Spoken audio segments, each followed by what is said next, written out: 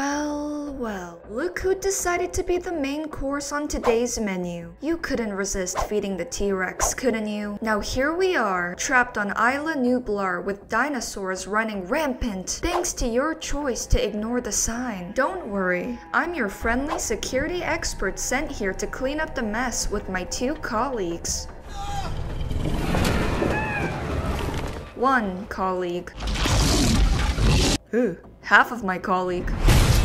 Hey, hey, hey! Welcome to my channel, everyone. I'm the Global Cherry, and we'll be determining if you can survive Jurassic Park and how. Before we begin, subscribe, like the video, and enjoy the show.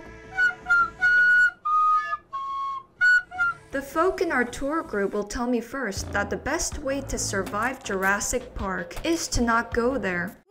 Sherlock! You're absolutely right. But you're here with me, aren't you? I don't blame you. After all, we humans have an insatiable curiosity that we would escape our life to visit a theme park with live dinosaurs. Possibly more enticing than watching Global Cherry's videos. Don't nod your head. So how do we get off this island now that we've understood the gravity of the situation? Looking for dino-proof structures with reinforced doors and windows is your safe bet, especially against velociraptors. Luckily, we're in a well-fortified lab, and raptors cannot open doors due to having the claws of a chicken. We may be able to come out, but nothing can come in.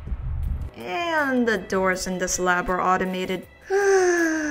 That's okay. Raptors don't hunt for sport, so you can make them leave by making it tough for them to eat you. Those clever girls have sensitive hearing, so it's best to hide and sneak around them quietly. But if one of them sees you, run! I've been spotted. Ah, don't eat my toes! If you're out in the open, unable to find a structure to hide in, find the most fortified looking vehicle with a sturdy roof. And have some food and drink with you as you pass time until help arrives, or when slowly making your escape. In the Jurassic Park films, bad things happen to characters as they leave their cars to somewhere more stompable. The gyrospheres from Jurassic World seem to be a worse place to be in, as the dinosaurs learn Jurassic Parking and endlessly kick your hamster ball. And shutting yourself in a locker during a raptor's pursuit is like packaging yourself into a meal container. Although sturdy vehicles are safe, there is one issue with the vehicle as a hiding spot. In a vehicle, we are safe from almost all dinosaurs except one, the T-Rex. Movies and games have shown that staying still will get the T-Rex to leave you alone. Yet, the T-Rex actually has excellent vision and an even better sense of smell.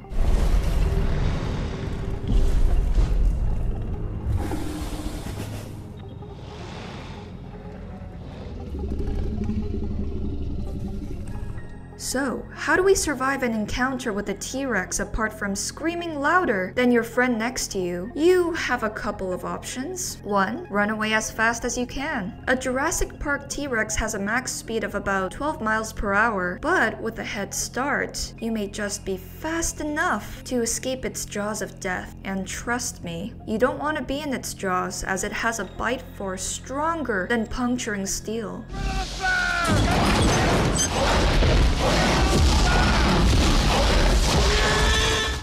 Perhaps you can even check under the herbivores enough for safety, but not close enough to be a vegetable. Get it? But um.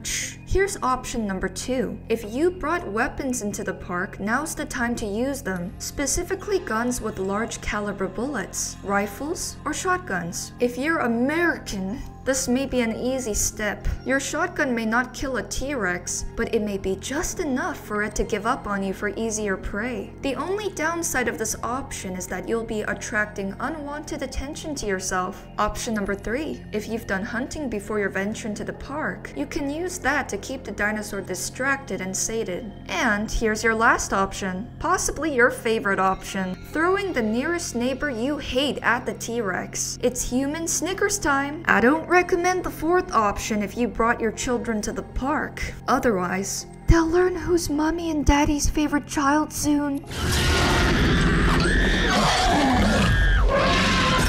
What if the dinosaur that's outside your vehicle is a Dilophosaurus, not a T-Rex? From the movies, we know that Dilophosaurus are smaller dinos with a retractable frill around its neck and the ability to spit venom. In reality, there's no evidence that they were actually venomous. Rather, they relied on their sharp teeth and claws to kill. Jurassic World Aftermath suggests shining your flashlight at them, as they supposedly fear the light. Yet that won't stop them in reality, as they already adapt to various light conditions. They're not a Valorant gamer, they're not Dracula, so what would be the best bet to survive a Dilophosaurus? Keeping your vehicle doors and windows locked. Even if they give you their puppy eyes to hand them your bag of crisps, don't fall for it. But if you left your windows open in your vehicle during the duration of this video, you'll have a resident in your car that called dibs on shotgun. Good luck! Now that you're well nourished, evaded some dinosaurs, and are close to getting off the island, search for the nearest dock rather than helipads, as those will be overtaken by creatures running 10 times faster than your car. On your way to the docks, avoid open areas, locations with lack of light, bushes, uneven rough ground, and thick jungles with obstructing plants. By being in an open area, you're prone to not only your fate as a human pancake, but also winged pteranodons. Unlike the movie, those winged creatures cannot pick you up and fly away, but they can fist you to death. Wait, no. The pteranodons would first smash into you with a knuckle on their midwing over and over again. Our fist is one third the size of a pteranodon's knuckle, so a punch from it is definitely going to hurt, and trying to fight it is out of the question. You squaring up against a pteranodon is like Jake Paul fighting Mike Tyson. Don't even take your chances. That's why I Now that we arrived at the docks, grab a boat and get the hell out of there. Where do we go? Anywhere away from Isla Nublar. Those oversized cloned animals have already given us a clear message that they don't want us near their terrain. So let's reach the nearest mainland. The T-Rex could possibly swim and follow us, but it will never catch up to our boat. And we've escaped with a nice view of the island from a distance. Congratulations, you have survived Jurassic Park. Dinosaurs in our world are scary enough, but would you want to take a chance in theirs? Let me know in the comments below. That is all for today. If you enjoyed this video, please make sure to subscribe, like the video, and comment your opinions below. Could you survive Jurassic Park in real life? And how? I would like to read your creative ideas in the comments. Thank you for being part of the tour.